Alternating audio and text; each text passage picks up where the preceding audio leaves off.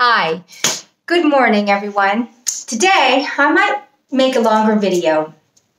Um, we're going to have a little interesting conversation, and it's going to be about things that you think you know and you are absolutely clueless about.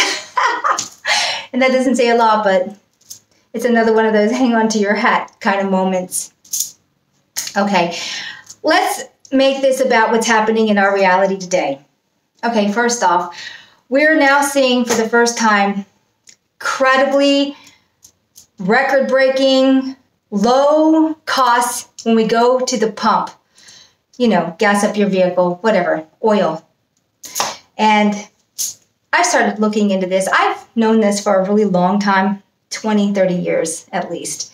And I'm going to now say things about it. Everyone believes, this is what's taught to them, that oil is a fossil fuel. Okay, we're going to put on our thinking caps. We're going to activate your brain processes, and then you're going to research everything I say. Let's think about this oil. Oil is a fossil fuel. Really? So, how far down do you have to go to get oil? Is it right at the surface? Sometimes it is. Most of the time they have to drill, don't they? It's very expensive. They go out to the ocean and they drill. They go on land and they drill. They go down thousands and thousands of feet to get this jackpot oil. Well, as far as I know, I don't think that anything lives inside of rock as far as dinosaurs and vegetation thousands of feet down. Think about this. Did you ever hear of an ecosystem system existing inside of rock that is carbon based? And I have a reason to say this too because there is life in rock, but it's not carbon based, it's silicon based. But I digress. The whole concept of dinosaurs was invented. You won't think so, and your first knee jerk reaction is, No! Jurassic Park! what a fantasy. No, oil is actually sentient.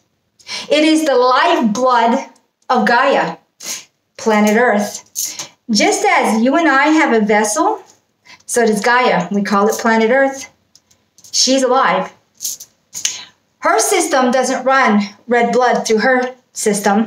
She runs black, sentient blood, and it's called oil, crude oil. It is the life force of Gaia. You ever wonder why in the 70s and from that point up, there's always been an oil crisis, an oil crisis. We should have run out of oil many, many years ago. Funny thing is, if you go and research, a lot of these wells that were drilled, dug, driven, whatever, fill back up. Why do you think that is? Do you think the dinosaurs came back and refilled it up? Or maybe the vegetation replanted itself thousands of miles deep? oh, do you think that the dinosaurs keep replenishing all this oil that we're missing? we should have been out of it many, many years ago. No, but God is like us, she's a sentient being, and so she produces this in her system. It's what makes the earth the earth.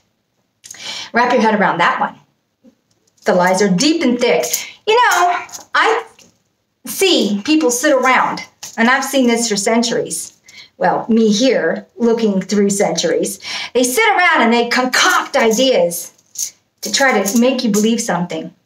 There's more oil than you can shake a stick at because it's constantly being produced. Oh, and by the way, it's just like you going to the blood bank and giving your blood. Are you going to run out of blood?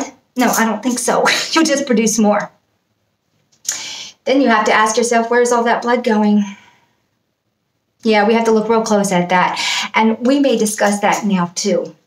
Just as we use oil, other beings use our blood um, as food, a food source. So all these blood drives, most of it's ending up as a food source. yeah, some of it does get reused to people who require it, but that's not the majority of it. um, that was also a concocted idea to align themselves with malevolent forces who require that blood of ours. And um, that way they could get technology Mm, that's just a whole nother nasty story.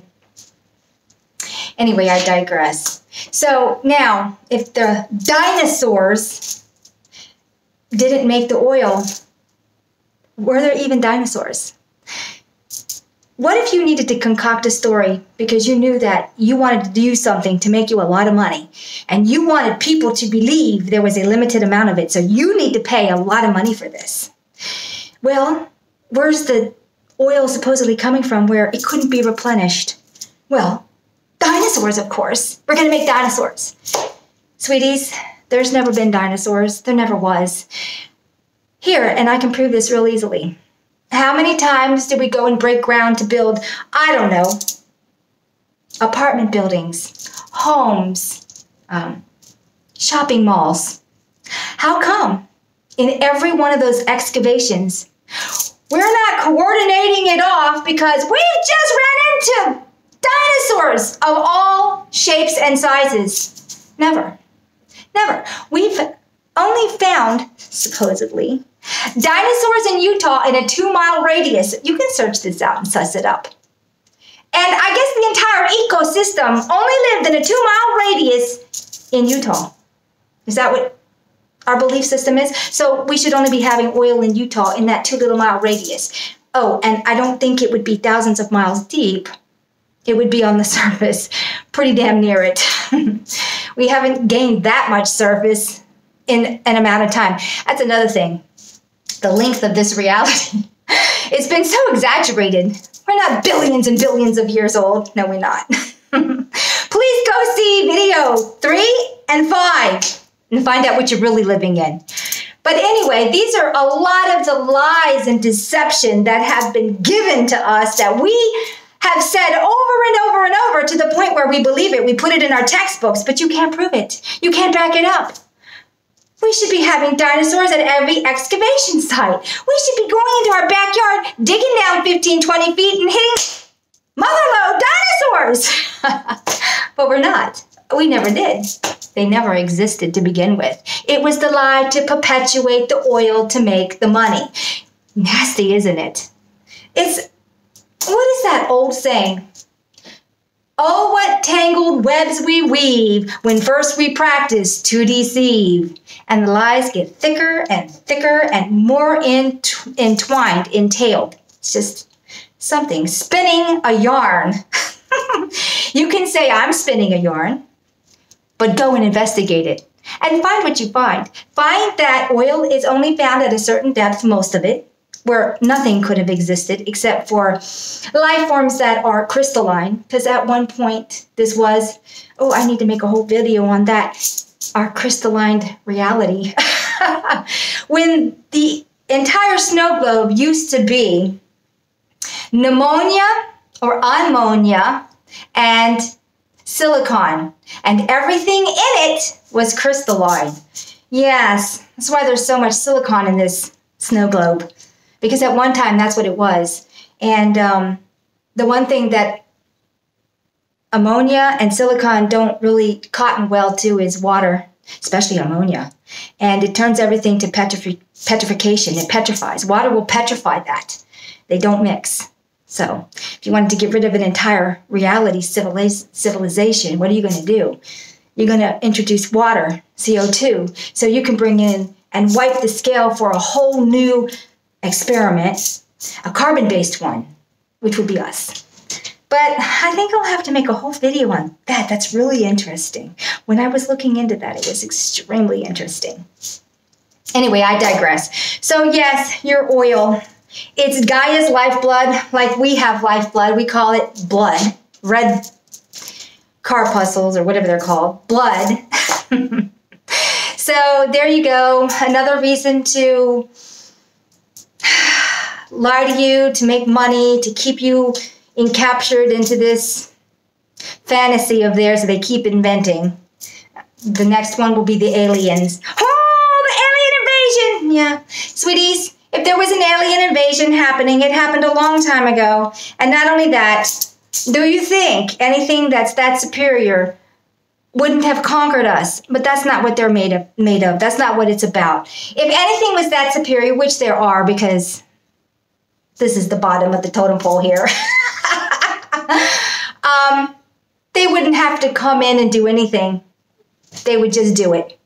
And you don't have to worry about them coming. I love how Hollywood puts out these alien movies and we're the humans, we're the good guys. No, we're the manipulated manipulated guys. We're the the idiots that fall for that crap because of fear, as it's all based in fear. Everything is fear, fear, fear, fear, fear. Now fear the aliens. Yeah. Mm-hmm. anyway, this is going to be a really long video, and I just wanted to talk about oil. so I guess I'll end this video, and I I am going to make some more videos about topics like this where you have been hoodwinked to believe things, so people can get rich off you, and you can stay their slaves and food. okay, everybody, have a great day. Bye.